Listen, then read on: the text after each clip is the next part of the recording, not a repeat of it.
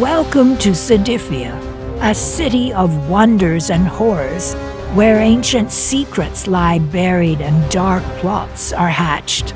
Here you will find a diverse and vibrant population of humans, elves, dwarves, halflings, gnomes, orcs, tieflings, and more. Some live in harmony and prosperity under the benevolent gaze of the Emperor Lutiulus Cedifus, who claims to be the chosen one of the gods. Others suffer in misery and oppression under his cruel and despotic rule, who sees them as nothing but tools and slaves. In this city of contrasts and conflicts, you will encounter many allies and enemies, friends and foes. You will explore its rich history and culture, its magnificent architecture and art, its hidden mysteries and dangers.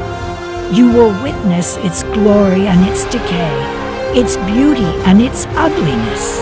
You will face its challenges and opportunities, its risks and rewards.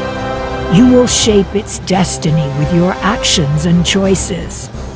Welcome to Cedifia the city of legends.